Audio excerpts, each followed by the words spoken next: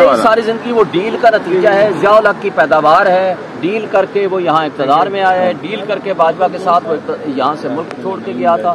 Deal के नतीजे में उसने उसको एक्सटेंशन दी। डील के नतीजे में ही पिछले साल उनको इकतदार मिला। वो जो डीलर होते हैं ना वो लीडर नहीं होते। तो डीलर और लीडर में फ़र्क होता है। पाकिस्तान की सलामती और खुद मुख्तारी को जिसने डिफेंड किया इमरान खान उस वो तो जेल में है।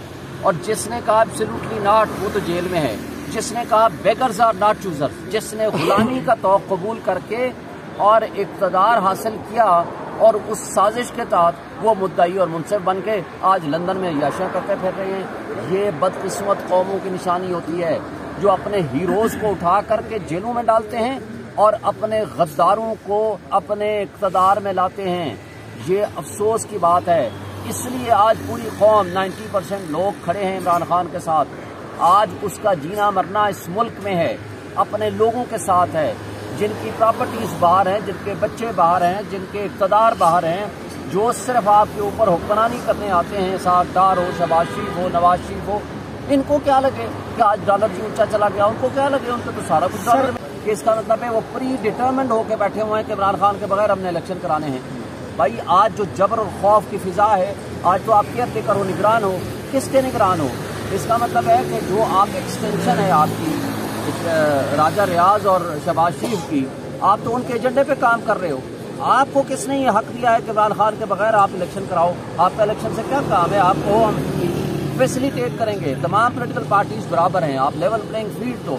हमारे वर्कर्स हमारे कारकुन, हमारे लीडर्स आप उठाए जा रहे हैं। और साथ आप ये भी मैसेज दे रहे हैं तो ये इसका मतलब है कि आप इम पार्शल नहीं हैं, आप पार्शल हैं, आप जानबदार हैं और ये आपका तर्ज अमल और आज आपकी ये गुफ्तु जो काकर साहब की है, वो ये शो करती है कि आप किसी एजेंडे पे हैं, आप सिर्फ़ शहबाज शरीफ और नवाज़ शरीफ की आशीर्वाद और इस्टेब्लिशमेंट की गोद में बैठ के यहाँ आपने इकतदार हासिल किया और उसके तवालत की खातिर आज आप अपने आकाओं को खुश करने की कोशिश कर रहे हैं।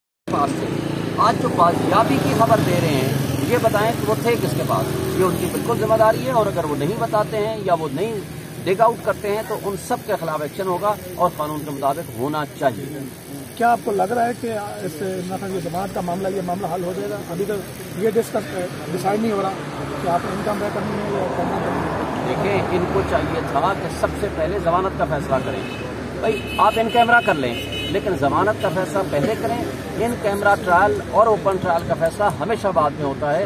वो उसका जमानत किसी भी बुनियाद पर रोकी नहीं जा सकती। आपको याद होगा, जो नीचे वाले जज साहब हैजुल करनैन साहब, उन्होंने पहले ये कहा कि जी हाईकोर्ट में रिट पेंडिंग है, कि जी मैं मंडे को हर हाल में फैसला करूँगा, मंडे को छुट्टी कर ली। फिर जुमरात को फैसला करूँगा, जुमरात को छुट्टी कर ली।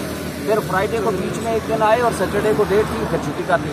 फिर जब आते हैं, मंडे वाले, अगले मंडे को वो फिर आकर कहते हैं कि जनाब, इसमें कुछ सर्टिफिकेट की गलती है, वो मैं दुरुस्त करूँगा।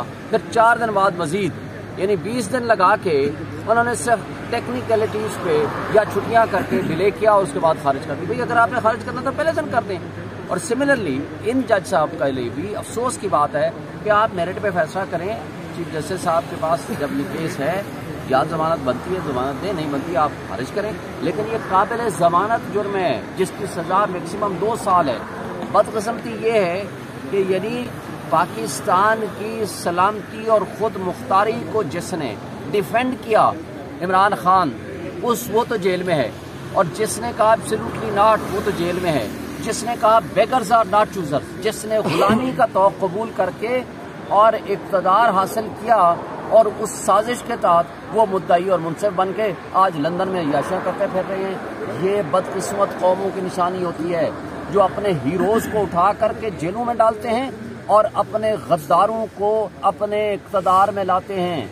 ये अफसोस की बात है। इसलिए आज पूरी कौम 90 परसेंट लोग खड़े हैं इमरान खान के साथ। आज उसका जीना मरना इस मुल्क में है। अपने लोगों के साथ है।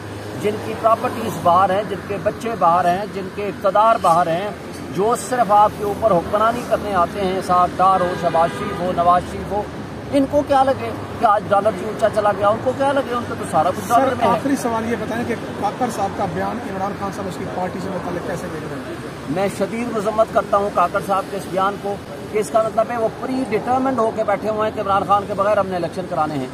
भाई आज जो जबर और खौफ की फिजा है आज तो आप केयर टेकर हो निगरान हो। किसके निगरान हो? इसका मतलब है कि जो आप एक्सटेंशन है आपकी राजा रियाज और शहबाज शरीफ की आप तो उनके एजेंडे पे काम कर रहे हो। आपको किसने ये हक दिया है कि इमरान खान के बगैर आप इलेक्शन कराओ? आपका इलेक्शन से क्या काम है? आपको हम फैसिलिटेट करेंगे। तमाम पोलिटिकल पार्टीज़ बराबर हैं। आप लेवल प्लेइंग फ़ील्ड तो हमारे वर्कर्स हमारे कारकुन, हमारे लीडर्स आप उठाए जा रहे हैं और साथ आप ये भी मैसेज दे रहे हैं। तो ये इसका मतलब है कि आप इम पार्शल नहीं हैं। आप पार्शल हैं। आप जानबदार हैं। और ये आपका तर्ज अमल। और आज आपकी ये गुफ्तु जो काकर साहब की है वो ये शो करती है कि आप किसी एजेंडे पे हैं, आप सिर्फ़ शहबाज शरीफ और नवाज़ शरीफ की आशीर्वाद और इस्टेब्लिशमेंट की गोद में बैठ के यहाँ आपने इकतदार हासिल किया और उसके तवालत की खातिर आज आप अपने आकाओं को खुश करने की कोशिश कर रहे हैं। शहबाज शरीफ नवाज़ शरीफ के वाले से ये कहा जा रहा है कि उन्होंने डील करके नवाज़ शरीफ को वतन वापस लाने की कोशिश कर रहे वाले वो पहले ही सारी ज़िंदगी वो डील का नतीजा है। जियाउल हक की पैदावार है। डील करके वो यहाँ इकतदार में आया है। डील करके भाजपा के साथ वो यहाँ से मुल्क छोड़ के गया था। डील के नतीजे में उसने उसको एक्सटेंशन दी। डील के नतीजे में ही पिछले साल उनको इकतदार मिला। वो जो डीलर होते हैं ना वो लीडर नहीं होते। डीलर और लीडर में फ़र्क होता है।